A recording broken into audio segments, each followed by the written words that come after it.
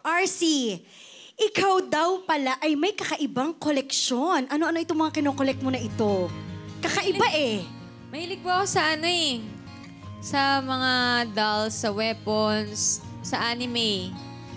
Meron ako mga dolls na living dead dolls. Ano sila, nasa coffin. Ang sana makita natin yung mga collection mo na yan. Oo Post nga. ko sa Instagram. Hindi, wait lang. Gusto Why mo pa not? Pwede ba makikita natin ngayon ang isa sa iyong koleksyon? Ito na si Ate Paula at Manoleto!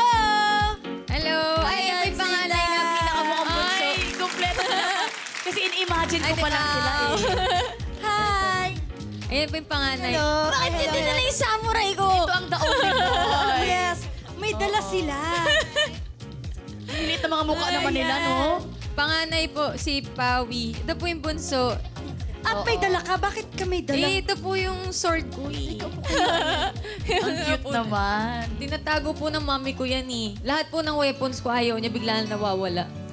Grabe. Tinatago niya. Si, ito si Ate Paula may dala rin. Ay. Ano yan? Ito po yung ano, mga weapons ni Naruto.